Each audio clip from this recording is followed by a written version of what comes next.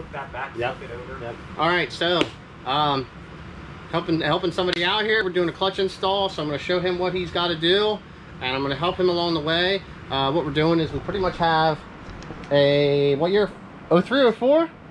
Oh, 04 SRT4. Um, this thing is pretty much stock. It does like has some stuff. We got motor mounts on it the other year, and um, I think it has um, some Mopar exhaust, but uh, doing a little uh, clutch upgrade. Um, you're at what 70? 75. 75,000 miles. So we are we're doing this right. We've got the, uh, the street clutch. Um, he's got the upgraded push rod. Um, you know, all the good stuff that we're going to be putting in the transmission.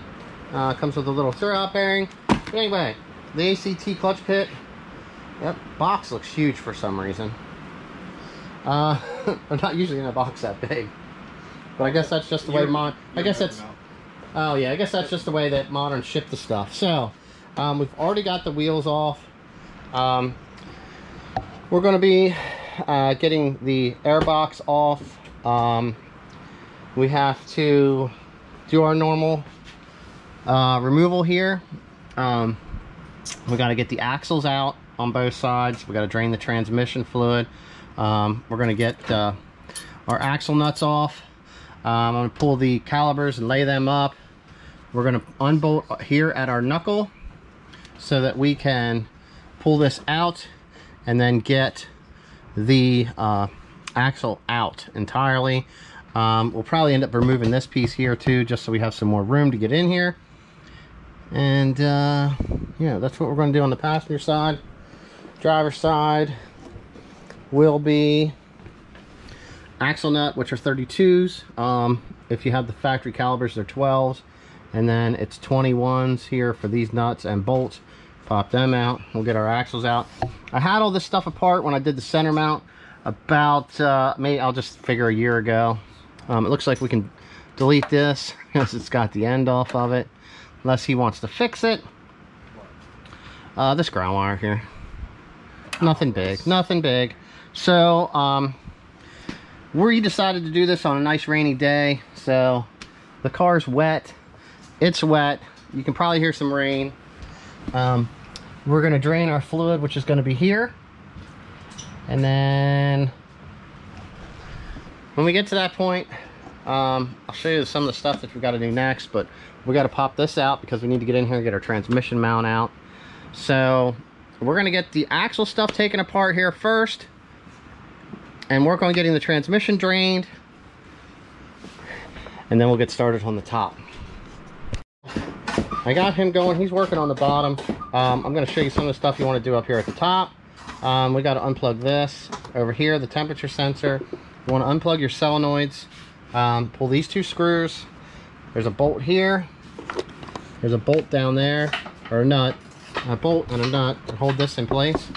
Um, unscrew here pull it off at the turbo. Then we can get our airbox assembly out of the way. Um, we got to pull our battery. So that's two tens there on those. Um, whew. once we get this stuff out of the way we'll actually be able to see the transmission. See it down there. And uh, then we'll get that stuff unbolted too. All right look we can see a transmission now. So now that we're to this point um, we're going to undo this pipe here um, you can do this two ways. One way is you can pull the throttle body and the spacer off so you can get to the bolts for the starter and you have room to pull this back. I prefer to just pull the entire intake. Now, um, it has a couple extra things in there. Let's see here. This one still has the little dog bone bracket down here, so that'll be fun to get. Um, but to do the intake, I always pull these off and out of the way because we don't want to break those and they always end up getting broke. But you're going to unplug all of these. You're going to undo this wrap a rag around here because the fuel always comes out. I pull the entire line off and i set it off to the side so it doesn't get damaged. Um, they're also kind of costly to get. Uh, pull off our hose and then we're going to undo our two bolts here for this bracket and then this and then there's a couple tens across here and we will remove our entire intake. But uh, we're going to start with the pipe. We're going to get this stuff unplugged and then we're going to get all these other ones unplugged and then pull the intake and we'll show you where we're at. All right, so we got the intake off. As fun as that was, this is the little dog bone mount that I was talking about. It comes up and bolts on the bottom of the intake. Um, like I said, I pull my dipstick tube. I've broken, I've seen, I've broken them, and I know what people do because they're they're a hard part to get right now. So we have all that taken off. That's out of the way. We still got to remove this. Um, we got to get down in here. Here's the ground that goes to the battery. Um, we got to undo this wire, this, and then there's three bolts that hold the starter on. We're going to be removing uh, the entire vacuum harness. Basically, I, I pull them off because these are starting to get old and brittle and they will get damaged. So we're just going to remove that entire harness out of the way. And we got to get down in here. We've got to pop off our bushings for our shifter cables. Um, there is two bolts that hold the bracket to the trans, and then we'll just get that up. But we, we'll have room when we get down in there because we're going to be removing this harness and laying it up out of the way along with our throttle cable and all of our boost lines will now be out of the way, including the solenoids off the car. Um, I also like to unplug the entire computer and remove that also. That way I don't risk damaging any of these plugs here going into the ECM, any of the wiring or the ECM itself. Um, it's just a whole lot nicer because you can pick the, pick the plug ends, you tuck them out of your way, and then you don't have to worry about damaging any of that because that's a costly item. And if you do damage that or stretch your wires, it can cause you problems down the road. So, with that being said, let's get the starter off, the, the starter harness, the vacuum lines, and get down in here and we'll get these uh, shifter cables off out of the way. Shift cables, they're all loose. We're going to lift them up out of the way then. Um, right now, we're on to the next part where we got to take our lower charge pipe off. So we want to undo our 8 while we're up here.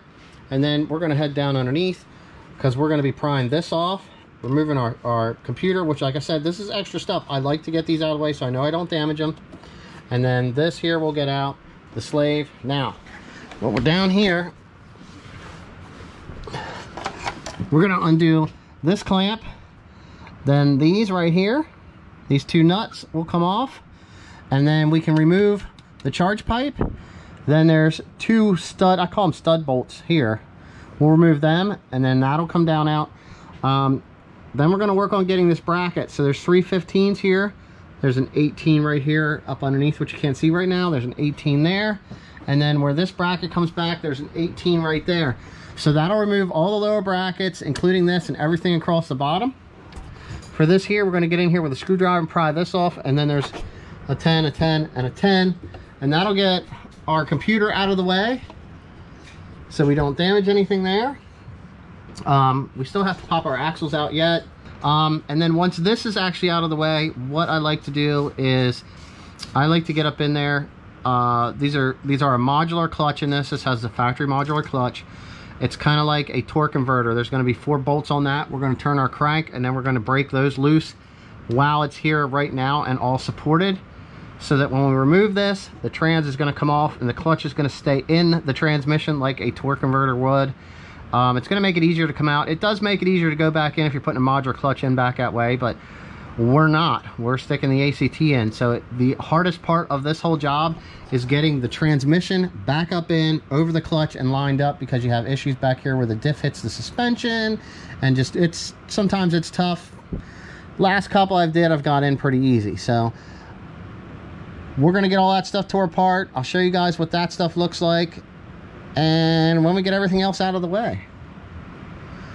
And what this stock clutch looks like. Um, we're figuring that the fork is going to be pretty shot. So we're going to see what's going on there. Plus we got to get everything cleaned up before we start doing our reassembly. So we got uh, both axles are out. Well, I just got this one. I usually let them lay here so I don't have to pull them the whole way out. Um, you can separate them here if you want to. I might pull this one out and separate it and then I'll anti-seize it up in there so I know that stuff don't wear. Um, transmission fluid coming out just a little bit, which is just because the axle's out. All right. All the brackets are off. We got the ECM out of the way. Uh, the cold side pipes out of the way. Our hot side pipe from the turbos out of the way. Now, these are the bolts here on the back side. Get this set up here so we can see what I'm doing. Not quite. There we go, maybe. All right, you're a little lopsided, but this is how I like to do these. All right, get this on here. All right, I set this. like this. Probably more this way. Uh, yeah, this is where I want to be. Okay, now we want to go that way. Alright, sorry, I had to think here. Alright. Basically, try to get up in here. Get this on here. Put this here. Pry against this. And then I whack this with the hammer. And it breaks the Loctite loose and gets it to spin, alright? Um, the reason why I'm doing it this way is an impact would be ideal, but we're not pulling the I'm not pulling the old pan off to do this, guys. It just, it's not it's just not ideal, okay? So um, I do this this way, and then when you're hitting it, you're actually shocking it. And this is this is the way you could do this by yourself. You could have someone with a big ratchet on the crank holding it. Um, you know, that way would work also. All right, you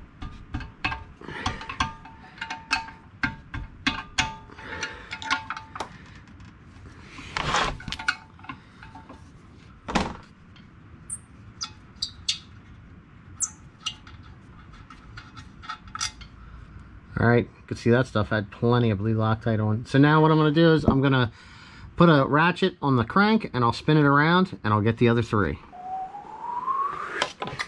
All right, we have everything is disconnected. We got the trans mount out of the way, axles, everything is undone.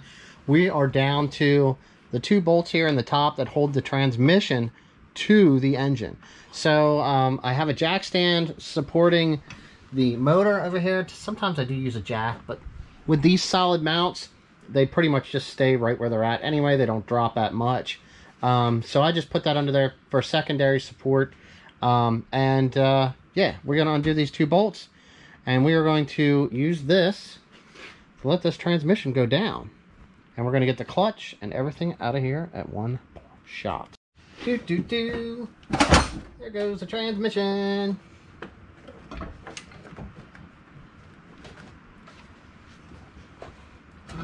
So that right there, that's pretty much everything on a stock car that you have to get out of the way. Now, when you're doing this, you got to watch out for your power steering lines. So, we're just going to lower this thing here.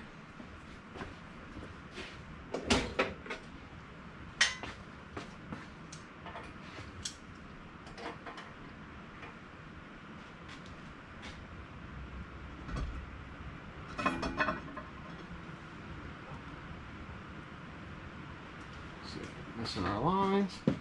I always like to get caught back there on the back here on the speedo. Uh, you want to get down underneath. You'll see those lines back there. See the power steering lines toward the back. Yeah, I got it out Yep. from under- underneath. Yep. Catching on that. Yep, and I'm just going to let this thing down slow. Do not be underneath of it. Yeah. Good? Yep. I pushed it out of the way. It's right here. Alrighty. You sitting it on the ground? Yes, we are. Okay.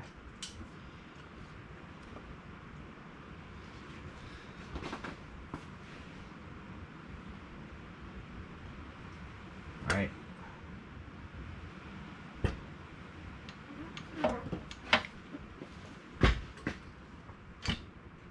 It's still warm. It was just running like two hours ago. Alright, so we have all that off. We need to pull these bolts right here out of our flywheel so that we can put our new fancy flywheel on there. And then we'll get everything cleaned up. We're going to double check our rear main seal regardless. Um, here is the inside of the clutch. Look, it almost looks new. No weathering in there. Oops. Do, do, do. I got a little bit there. I got to let down on the uh, chain. Some there. It's still kind of suspended.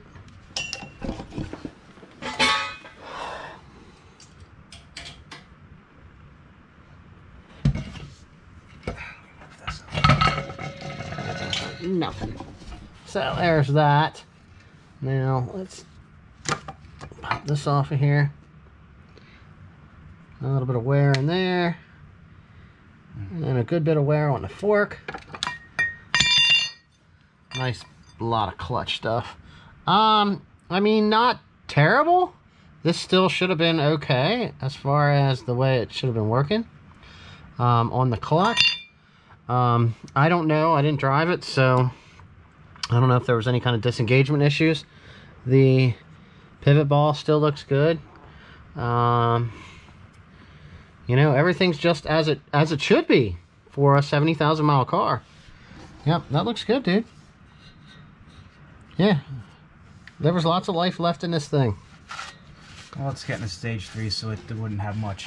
Once No. That, once that no, this this is this is much. definitely um, that clutch is definitely the way you want to go with that uh, street clutch. So right now, um, we're just we got to get everything cleaned up, get everything prepped. We got to pull that apart, double check our rear main seal, which I believe that's fine. There's no grease, no oil, no nothing anywhere, so all that stuff will be fine. That's usually something you want to take care of when you're doing this.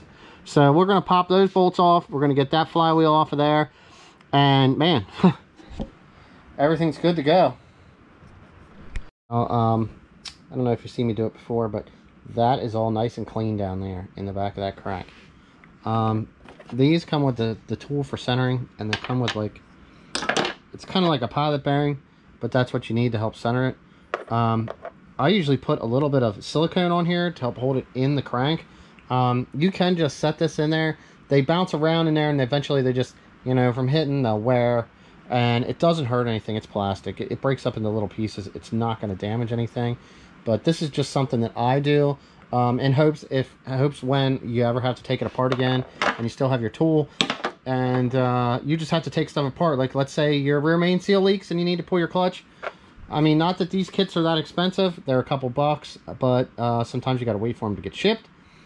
But if this thing is still uh, retained and stayed in there and not damaged, all you need is your tool and you can line your clutch back up.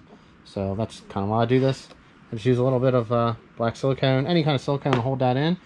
Um, we are now at the point where we're going to be getting ready to unbox the flywheel and we're going to get that on. You know how it is when you're getting motivated with the new stuff.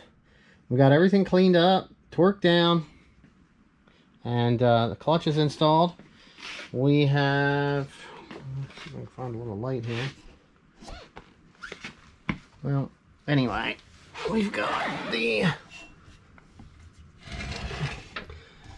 new AGP fork. Uh, replaced the top on the pivot ball and everything's in there all lubed up ready to go in uh, right now is going to be the hardest part um, it's not picking it up because we have the hoist it is getting it to line up so that we can get it bolted together that is going to be the challenging part but once we get that thing up in there and we get the transmission mount on everything goes back together pretty easy but uh, we will have some prep work. We're going to just throw some of this stuff into the parts washer, just get everything cleaned up. That way it's uh, nice and ready to go. We got a new intake gasket we got to get replaced on the intake.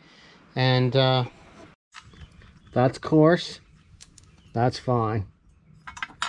Now what you should do before you put these in is put a little anti-seize on them because they like to seize up in the computer bracket Where's- there. So I'll grab you some of that. I was gonna say, where's the anti-seize? I think I should just film you and see how, how much of this you get all over the place. Oh my goodness. Okay, so um, the trans is in, bolted up. Uh, top two bolts are in. That back bolt, this lower bracket's in. Power steering lines are on. Slave cylinders in. Um, like I said, trans bracket. Uh, um, this is in. It just needs tightened up on this side. And then we got the cover to put on and the brakes need put back together. And we got the charge pipe needs to go back on. Intake's cleaned up. Cold side pipes cleaned up. We got some new gaskets. Um, we're skipping putting the dog mount back on. So we're just gonna we're gonna put that with our stuff. That way we have it when when the time comes if we we want to put it back on. Um, hmm. Yeah. So he's getting the ECM done. We just cleaned up the bracket. It was just something to make it a little bit nicer. Um, so he's bolting the ECM back together. Uh, and then we're going to get that in. We can start plugging in some of this stuff. We can get ready to install our, yeah, the intake. And like I said, the cables, the shifter cables are all in. we have I got to dig out the funnel. Um, we're gonna dump our fluid back in because we're reusing our fluid. I have to put in the driver's side axle over here and then tighten everything up with that. So this is coming together pretty good. Um, you know, what's what's better to do than doing a rainy Friday, but uh, nice clutch install. Um, we'll install the fuel line once we get the uh, wiring down where it needs to be. And uh, just double check everything, go over everything, double, double, double, triple, triple check. And um, yeah, we'll soon have this thing fired up and shifting. Maybe. Maybe. I don't know. I mean, he did it. Let's see. Put it on upside down. How did you put it on upside down? Yeah, I did. Because isn't this one supposed to go on the bottom? No. Devin, it's only going on one way. So Thank you, God. you're all right. You can only do it was one way. say, dude, please, for the love of God. And then when you put that in, you gotta kind of gotta go like this. And uh, yep, out. I was gonna say it's a pain. Then they the they have to go behind the harness here. yeah, like that. Oops. Computer's in. I'm gonna get back to work. I gotta get my hands in here. Here we go. Check it out. Everything is together. Uh, this guy's busy buttoning up his airbox. I think he's having an argument with it. Um, we gotta plug these in. We'll probably have to clear the codes. I think he has a code thing, so he can clear it. Um, you know, like I said, we didn't put this back on, so we have our our bolt for that, and and this we're just keeping out. Um, he's got this. We're gonna put this in later. Everything is together so far here. No no problems. Um, we did start it up.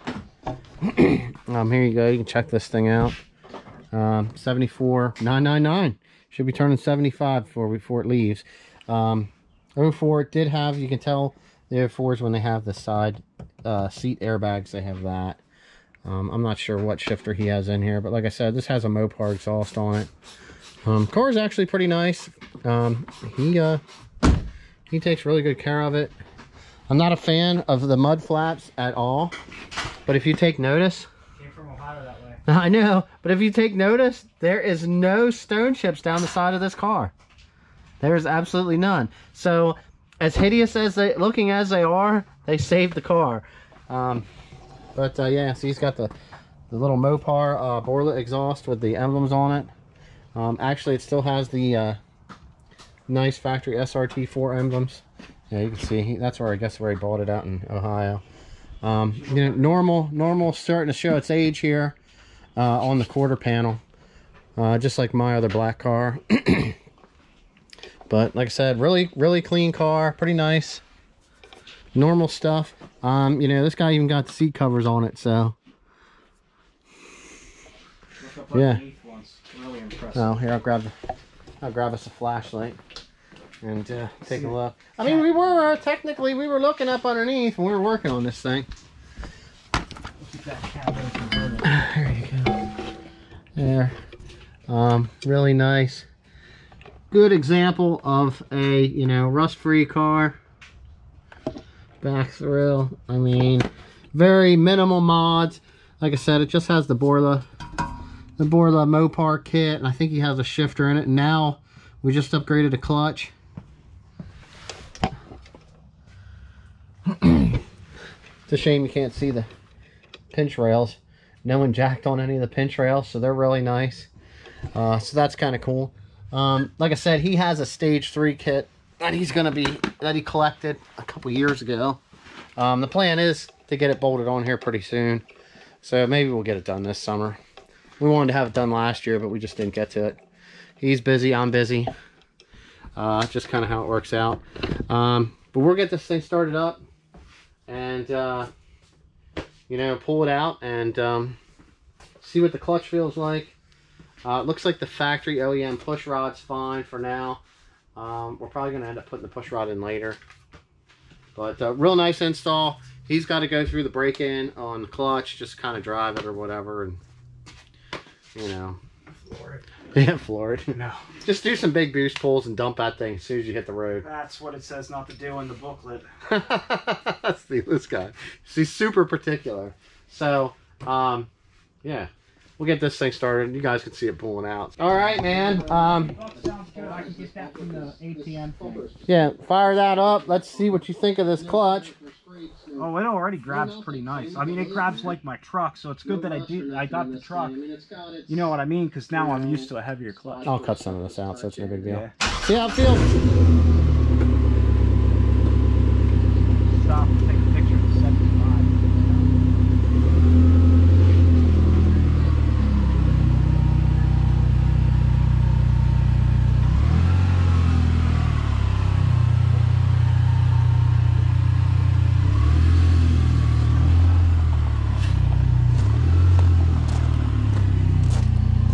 Where's it? Where's it grabbing off the floor? How close? Does it feel like it's grabbing Right. higher or lower Uh, than the other one?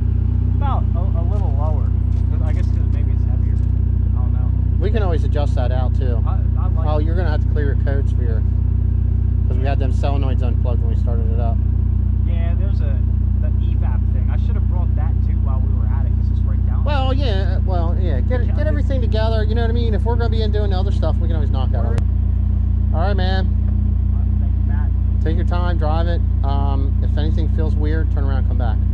All right. Uh, it feels good now. So. I know, I know, but that's what I'm saying. If you if you if you need to pedal around a little before you get on the highway, do it. If you- anything feels weird, come back. If you have to question anything, or if you want to come back, double check everything. I don't think that there's anything that's going to need. I was gonna say we torqued everything Yeah. down. I don't think there's anything that's going to need to be you know addressed.